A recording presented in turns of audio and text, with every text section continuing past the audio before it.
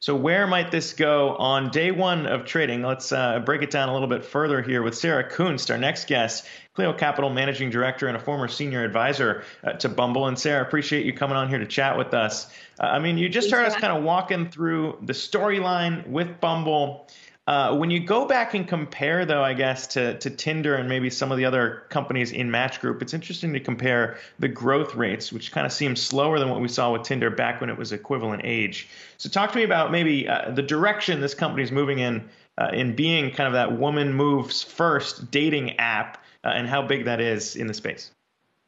Yeah, I mean, I think we can all relate in our personal dating lives, right? We we want quality over quantity, and and I think that Bumble's really been able to bring that, um, you know, and and uh, they're offering a product that while the UX might not be massively dissimilar from some of their competitors, the brand promise really is, and and you know, I kind of liken it to the Teslas of the world Tesla did not invent cars. It didn't invent electric cars. It just brought a brand and a form factor that, you know, users really really love. And and I think that that brand loyalty is is going to be something that we see on display here today in their debut.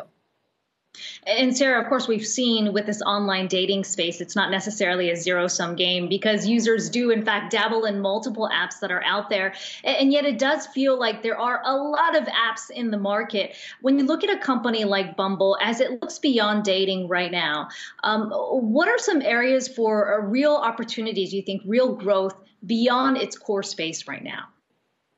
Yeah, I mean, you know, Bumble has made some some awesome moves uh, in in spaces like Bumble Biz, which is focused on business connections, um, Bumble BFF, which is is focused on friend connections. You know, it's really about empowering people to to go out and connect with others in their lives, and and they're doing that across several different facets, and and there's a lot of traction there. They even have the ability to download the app and to turn off dating so that if you, you know, are happily in a relationship but you want more friends, you you want to meet people to talk with on a job front, you can do that. And so, you know, where do you want to connect with humans and and Bumble can help you kind of make those connections.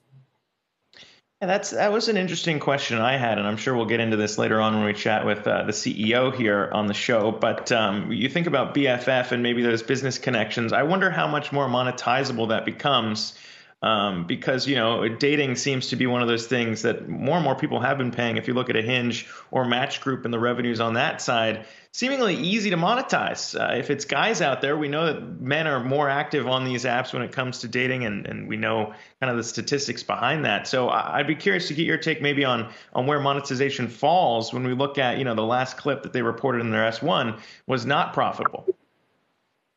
Yeah, and and you know, I, I, think that over time there's certainly a path to profitability in in these kinds of companies. Um, and you know, to your point, uh, dating is is oh, people spend a lot of money. It's it's digital goods. You're paying for a monthly subscription uh, to get more features. You're paying for sort of immediate digital goods to tell somebody you really really like them. They call it super swipe in the app, and you know, it, it's similar to video game economics in that you know the the cost of goods on a digital good is incredibly low, which means the margins are really really high. And so you know, certainly in the core product, but then when you look at the other products, right? If if Bumble BFF is finding you a roommate, right? How much is a good roommate worth? How much is uh, you know, finding finding your new best friend worth, right? And and the ability to monetize, you know, and, and recently they were running a promotion for Valentine's Day around Airbnb experiences. So if you layer in, you know, even some advertising revenue or, or affiliate revenue, there are a lot of opportunities. Uh, most of the money we spend on experiences is with other people,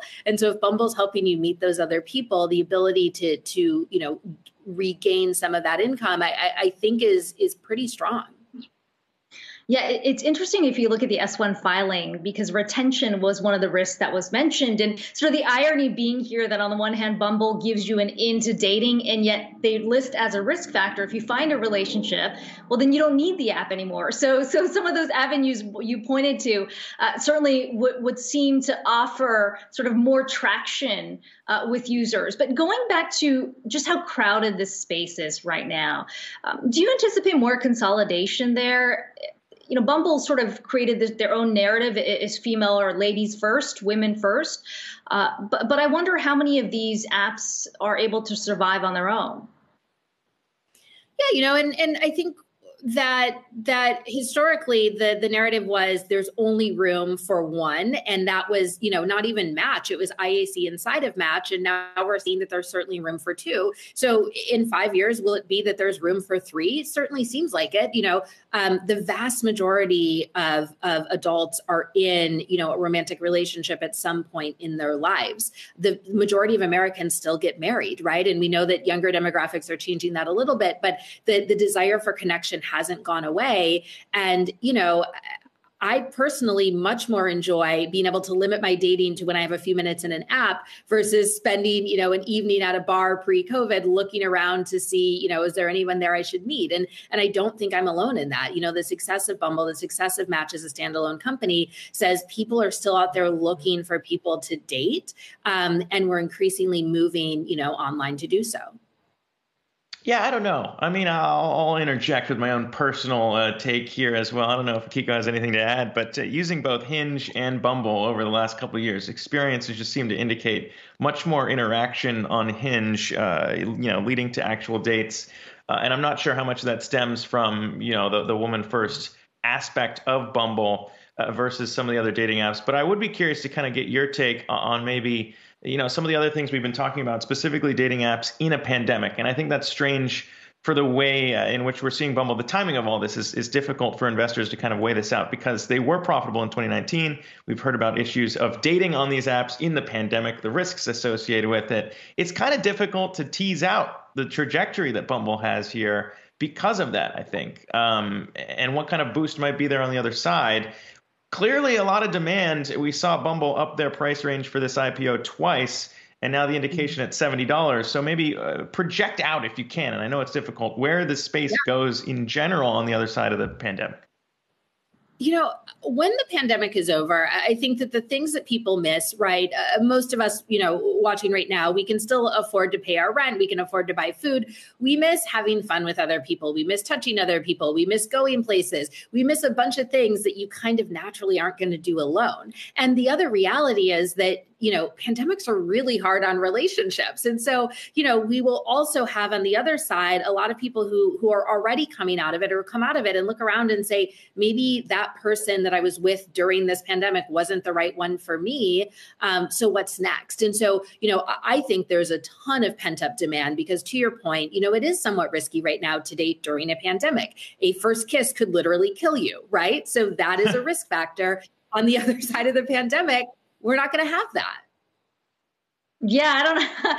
that sounds a little scary if you put it that way. But um, uh, Sarah, it's good to talk to you today. Uh, Sarah Kunst, Cle- uh, Cleo Capital Managing Director and former Senior Advisor to Bumble. And we, of course, will be speaking to the CEO of Bumble, Whitney Wolfe Herd. She'll be joining us on the show a little later.